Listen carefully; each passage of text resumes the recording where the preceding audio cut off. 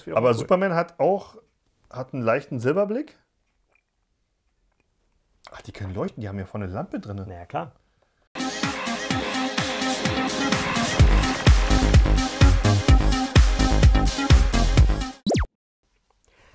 Damit herzlich willkommen zu Spielzeugjäger. Ich bin der Martin. Ich bin der Alex.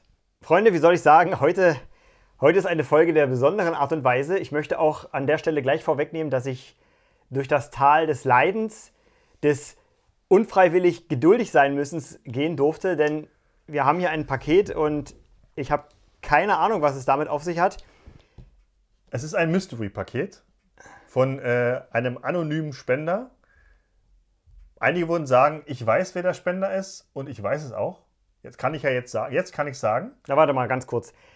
Das Problem ist, prinzipiell habe ich nichts gegen Pakete, die geschickt bekommen werden. Oder die wir geschickt bekommen.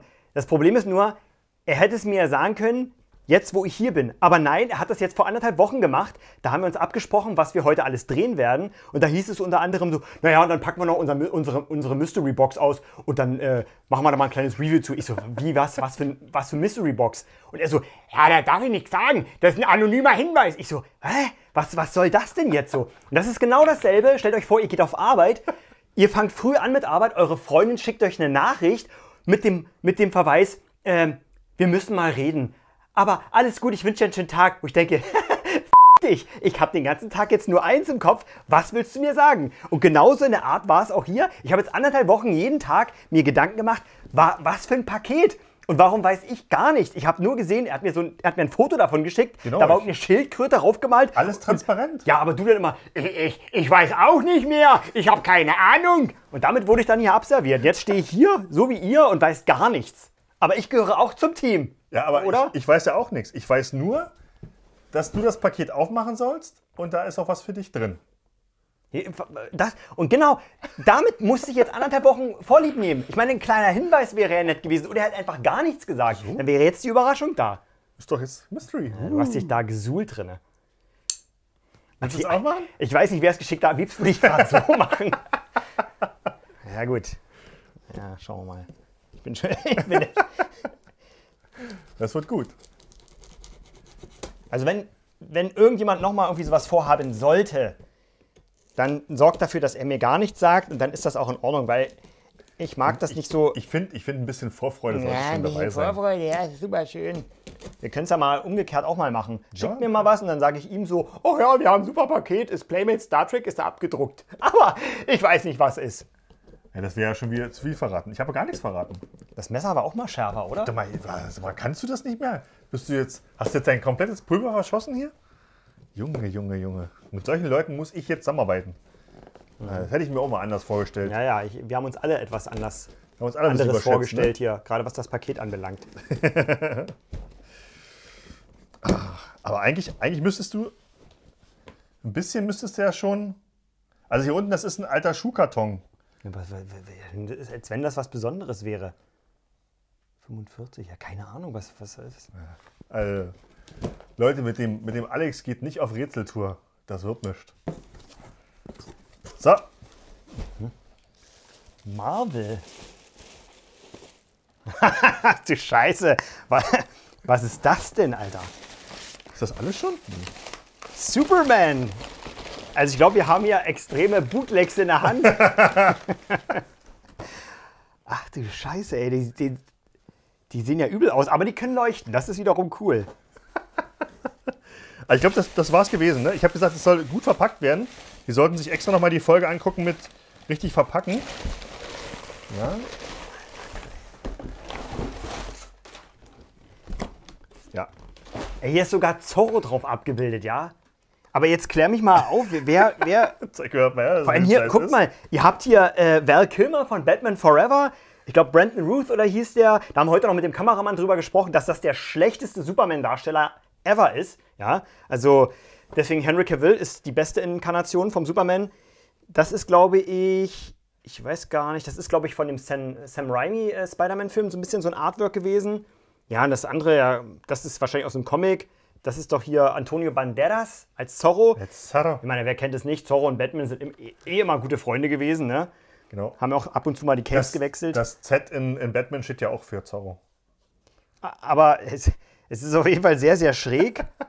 Geil ist, es ist, es ist unpunched. Es ist noch zu. Sealed? Hier ist sogar ein scheiß Säbel da, oder ein Degen dabei, ne? Aber am, am übelsten sieht der, der Ant-Man aus. Also der, keine Ahnung, der sieht aus. Die haben alle den gleichen Körper, ne? ja, stimmt. Alle den stimmt. gleichen Körper, den nur die Köpfe Körper. sind verschieden. Spider-Man hat hier ordentlich Anabolika genommen. Ja. Ja, gut, der muss ja auch mal ein bisschen. Oder hat mit Markus Rühl hier schön Schulterheben und so gestemmt. Könnte sein. Okay, jetzt, jetzt klär mich mal auf, warum, warum kriegen wir hier diese, diese krassen Bootlegs zugeschickt? Also, wie gesagt, ich kann dir einen Tipp geben. Das Paket kam aus Berlin. Martin Otto? Nein. Nicht? Es war, ist zwar der Martin Otto ist der, der Bootleg-König, beziehungsweise der äh, skurrilen Toys. Thomas Pecoraro? Nein, auch nicht. Ganz alter Freund. Matti? Ja, Ah, ja. Matti und Claudi. Gruß geht raus an Matti und Claudi. okay, ey. Ich glaube, das haben die im Urlaub gekauft, kann das sein? Das kann gut möglich sein, ja. Die haben gesagt, wir haben nochmal was richtig Spezielles für dich. Und das sollen wir als Mystery-Paket auspacken.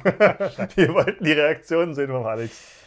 Ähm, die Überraschung ist euch geglückt und Matthias, wenn du das hier siehst, ich bin mir recht sicher, dass du abfeiern wirst, weil du weißt, dass ich jetzt hier anderthalb Wochen gelitten habe, von nichts wusste. Ich habe immer, ich hab immer, ich hab immer schön Nachricht weitergegeben. Also Matti und Claudi waren, äh, waren informiert über den Gemütszustand vom Alex. Ich würde jetzt mal Peter Venkman aus The Real Ghostbusters äh, rezitieren in der Folge mit dem bösen Mann. Da sagte er, eigentlich hübsch hässlich. Die Frage ist, sollen wir die auspacken? Sollen wir die nicht auspacken? Ich habe keine Ahnung. Die Gefahr besteht natürlich, wir packen die aus, die fallen auseinander. Weil das sieht schon Jetzt, ziemlich jetzt cool ist, die, aus. ist ne? die Frage, könnt ihr mal in die Kommentare reinschreiben, was, äh, was damit passieren soll. Sollen wir die auspacken? Sollen wir die graden lassen? Oder was auch immer. Hast du, was? Lack, hast du Lack gesoffen? Warum wir, nicht? Wir lassen die doch nicht graden. Warum denn nicht? Wäre aber ein Spaß wert, oder? Du, wenn wir das machen, dann können wir bei dieser Grading-Firma nie wieder was graden, weil die denken, ach, die Lappen schon wieder. Die wollen ja wahrscheinlich äh, demnächst die Margarine noch graden lassen. Oder sollen wir sie auspacken und mal reviewen oder so? Keine Ahnung. Schreibt es mal rein. Es ist eure Aufgabe. Ihr entscheidet, was mit diesen Figuren passiert, oder Alex? Auf jeden Fall. Weil es sind ja deine, das sehr ist jetzt schräg, deine. Ja. Die sind von der sehr bekannten Firma Light. Da geht einem ein Light auf. Ist hier irgendwie noch, ist, kommt das irgendwo, wo, wo, von wo es herkommt irgendwie? Ist das noch was? Steht da was Unten ist noch ein bisschen was drauf. Es hat sogar ein Ja, auf alle CE-Prüfzeichen. Fälle. Ist gut. äh, 0 bis 3, also ist genau unsere Zielgruppe. Made, Made, in, made China. in China, ja. Also wahrscheinlich von der Familie Lu Chen gemacht. Ja, hier steht nur noch Superman. Ach, steht ja hier auch drauf. Superman, the, the Earth Protector. Wahrscheinlich heißt das ganze Team Superman. Also Spider-Man sagt, ich bin Superman. Batman sagt, ich bin Superman. Ant-Man sagt, ich bin Superman. Alle sind Superman. Aber die Wenn- Frage ist, wo ist Zorro? Na, Zorro, ich, pf, keine Ahnung. Da gibt es ja noch ein anderes Pack mit Zorro drin. Das könnte, könnte wahrscheinlich sein, weil man hat ja auch noch diesen, diesen Spider-Man, also der mit dem schwarz-grünen Kostüm und Zorro. Iron Man ist ja auch nicht dabei. Könnte sein, dass man die noch dann separat bekommt. Das sind ja dann eins, zwei, drei, vier. Na gut, das geht nicht ganz auf. Schr- Schräg, schräg, sehr schräg auf jeden Fall. Aber gut, es ist auf jeden Fall witzig. Ich, ich ehrlich gesagt möchte sie gar nicht auspacken, aber wir schauen einfach mal. Aber so vom, vom, von der Verpackung her sieht das noch sehr gut aus. Wenig Bestoßungen. Ja, und, und man muss auch sagen, wirklich gut verpackt. Also, sag mal, ihr habt euch die Folge angeguckt, äh, gut verpacken und habt das auch beherzigt. Also tipptopp. Und Alter ab 3, das heißt, ich könnte durchaus damit spielen. Ja. Aber es steht leider nicht drauf, aus welchem Jahr die sind. Aber naja, das kriegen wir vielleicht nochmal irgendwie raus. Ähm, Claudi. Matti, danke und liebe Grüße in die Hauptstadt an der Stelle. Die Überraschung ist euch geglückt. Okay, nächstes Mal möchte ich einbezogen werden. Oder? Ja, Nein. doch. Mehr, mehr Überraschungspakete. Das war's dann mit einer sehr speziellen Unboxing-Folge hier bei Spielzeugjäger. Ich hoffe nicht, dass ihr euch an meinem Elend gelabt habt. Ich schon. Ja, das ist mir klar. Der Kameramann grinst auch die ganze Zeit, das sehe ich. Naja. Okay, danke fürs Zuschauen und äh, bis, zum nächsten Mal. Macht's ciao, gut. ciao. Claudi und Matti, Alter, darauf bin ich in welchen tausend Jahren nicht gekommen.